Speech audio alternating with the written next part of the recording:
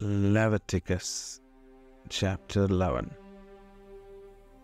The Lord spoke to Moses and Aaron, saying to them, Speak to the children of Israel, saying, These are the living things which you may eat amongst all the animals that are on earth.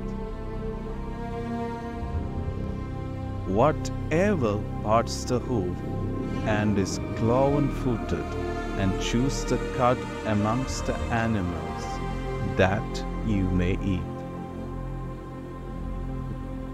Nevertheless, these you shall not eat of those that chew the cud, or of those who part the hoof, the camel, because it chews the cud but doesn't have a parted hoof is unclean to you. The hyrax, because it chews the cud but doesn't have parted hoof, is unclean to you. The hare, because it chews the cud but doesn't have a parted hoof, is unclean to you. The pig, because it has a split hoof, and is cloven footed, but doesn't chew the cud, is unclean. You shall not eat their meat, you shall not touch their carcasses. They are unclean to you.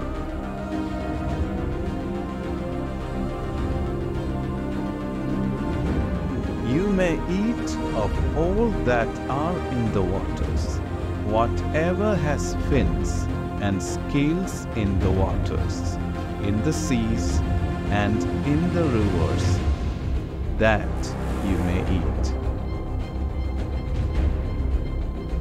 All that don't have fins and scales in the seas and rivers, all that move in the waters, and all the living creatures that are in the waters, they are an abomination to you.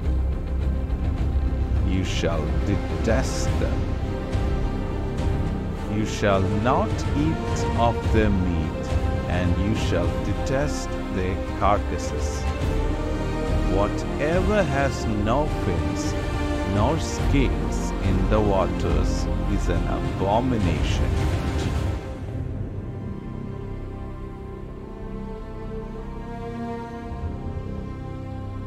You shall detest these among the birds. They shall not be eaten because they are an abomination.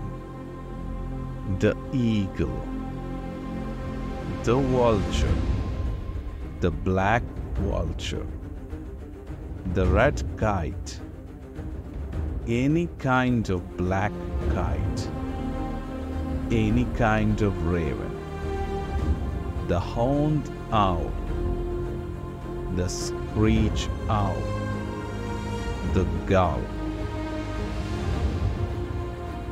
any kind of hawk, the little owl, the cormorant, the great owl, the white owl, the desert owl, the osprey, the stork, any kind of heron, the hoopoe, and that. All flying insects that walk on all fours are an abomination to you. Yet you may eat these. Of all winged creeping things that go on all fours, which have long joined legs for hopping on the earth. Even of these you may eat. Any kind of locust, any kind of katydid, any kind of cricket, and any kind of grasshopper. But all winged creeping things which have four feet are an abomination. By these you will become unclean. Whoever touches their carcass shall be unclean until the evening. Whoever carries any part of their carcass shall wash his clothes and be unclean until evening.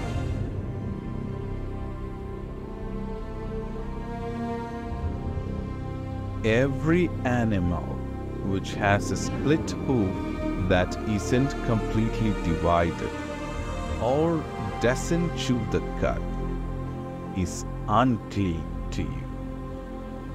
Everyone who touches them shall be unclean. Whatever goes on its paws, amongst all animals that go on all fours, they are unclean to you. Whoever touches their carcass shall be unclean until the evening. He who carries the carcass shall wash his clothes and be unclean until the evening. They are unclean to you.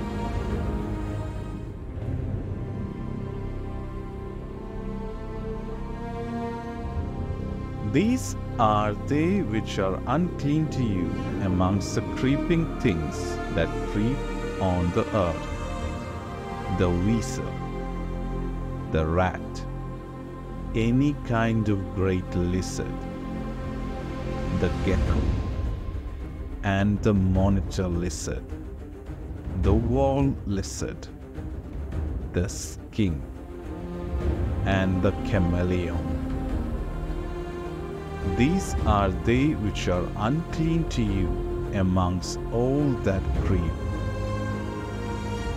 Whoever touches them when they are dead shall be unclean until the evening. Anything they fall on when they are dead shall be unclean, whether it is any vessel of wood, or clothing, or skin, or sack, whatever vessel it is with which any work is done, it must be put into water, and it shall be unclean until the evening. Then it will be clean. Every earthen vessel into which any of them falls, and all that is in it, shall be unclean you shall break it. All food which may be eaten, which is soaked in water, shall be unclean. All drink that may be drunk in every such vessel shall be unclean. Everything whereupon part of the carcass falls shall be unclean whether oven or range for pots, it shall be broken in pieces. They are unclean and shall be unclean to you. Nevertheless, a spring or a cistern in which the water is gathered shall be clean. But that which touches the carcass shall be unclean. If part of the carcass falls on any sowing seed which is to be sown, it is clean. But if water is put on seed, and part of the carcass falls on it, it is unclean to you. If any animal of which you may eat dies, he who touches its carcass shall be unclean until the evening. He who eats of its carcass shall wash his clothes and be unclean until the evening. He also who carries its carcass shall wash his clothes and be unclean until the evening. Every creeping thing that creeps on the earth is an abomination. It shall not be eaten. Whatever goes on its belly, and whatever goes on all fours, or whatever has many feet, even all creeping things that creep on the earth, them you shall not eat, for they are an abomination.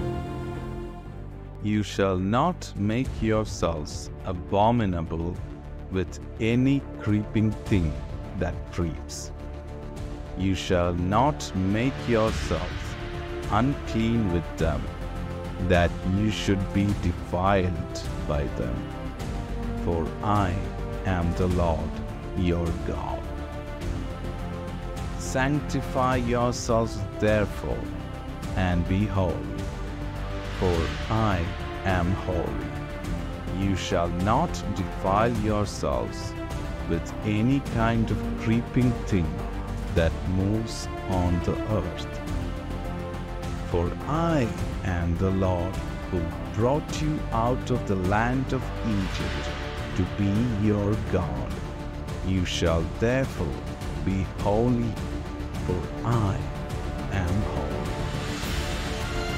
This is the law of the animal and of the bird and of every living creature that moves in the waters and of every creature that creeps on the earth to make a distinction between the unclean and the clean and between the living thing that may be eaten and the living thing that may not be eaten.